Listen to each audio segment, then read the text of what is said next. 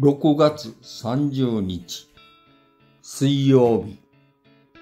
ウォーキング6キロ目標達成。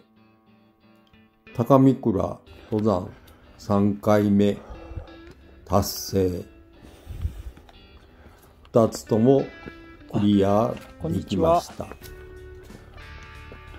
だけど今回の2つの記録は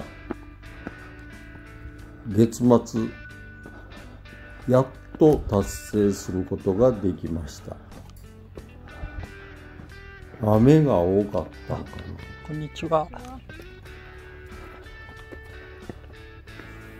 これほど達成を意識したことは今年に入って初めてです。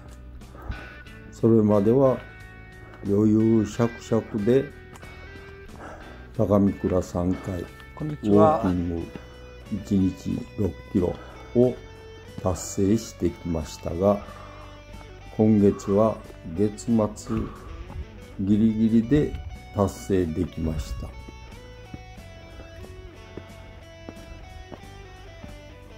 今年ちょうど半分過ぎたことになります。ちょっと振り返ってみたいと思います YouTube1 日1本アップ。これも連続して続けています。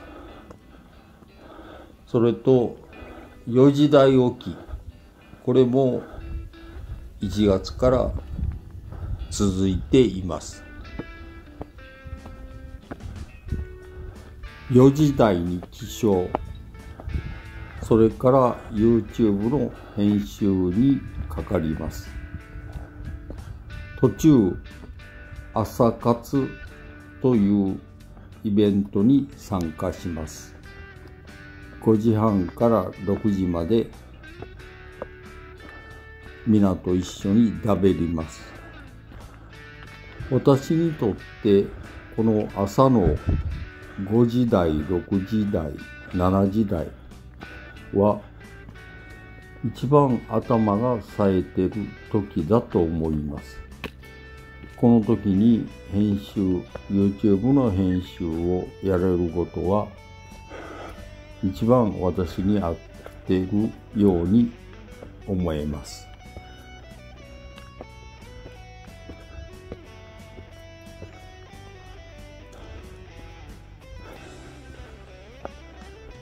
少し下の駐車場から頂上まで約30こん分で。登りきります。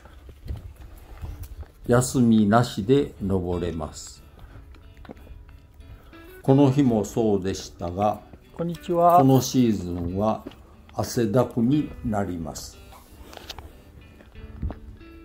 今日のスタートは4時半、夕方の4時半にスタートしました。山頂の社務所に置いてある登山記録簿に記載します。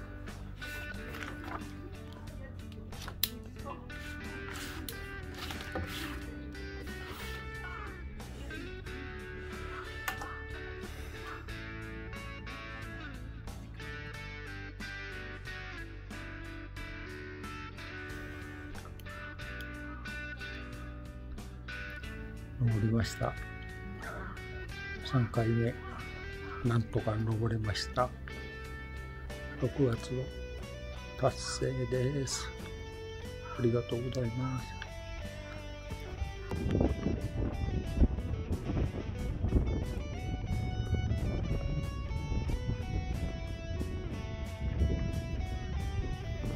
高見倉山山頂です。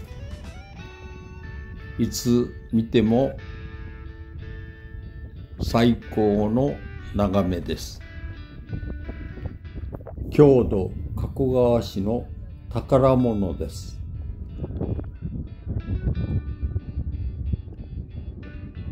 今日も最後までお聞きいただきありがとうございました。